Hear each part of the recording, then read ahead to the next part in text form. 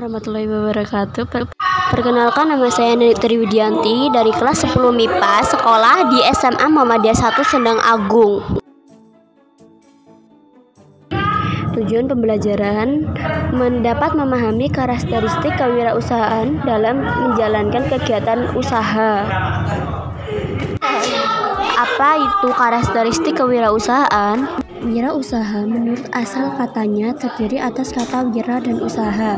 Wira berarti panjang, pahlawan, manusia unggul, teladan, berbuat luhur, gagah berani, dan berwatak agung. Sifat-sifat wirausaha yaitu percaya diri, berorientasi, tugas dan hasil, kepemimpinan, keaslian, berorientasi ke masa depan. Sumber daya yang dikelola dalam sebuah wirausaha dikenal dengan sebutan 6M, yaitu man manusia, monai uang, material, bahan, machin, peralatan, melhot, cara kerja, market, pasar. Faktor keberhasilan adalah hal-hal yang positif dan faktor kegagalan adalah hal-hal negatif atau hambatan. Dimensi kewirausahaan, kualitas dasar yaitu daya pikir, daya fisik, daya hati. Kualitas instrumental menguasai disiplin ilmu sesuai bidang. Jenis kewirausahaan adalah necessity entrepreneurship, representative entrepreneurship, inovatif entrepreneurship. Pelaku wirausaha atau wirausahawan adalah seorang yang memiliki kualitas jiwa pemimpinan dan inovator pemikiran dalam melakukan usaha.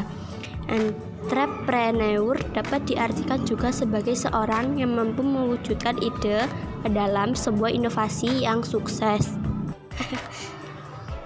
kewirausahaan seperti tercantum dalam lampiran keputusan materi kooperasi dan pembinaan pengusaha kecil adalah semangat, sikap, perilaku, dan kemampuan seorang dalam mengani usaha atau kegiatan yang mengarah pada upaya mencari, menciptakan, serta menerapkan cara kerja teknologi dan produk baru dengan meningkatkan efisiensi dalam rangka memberikan pelayanan yang lebih baik dan atau memperoleh keuntungan yang lebih besar besar.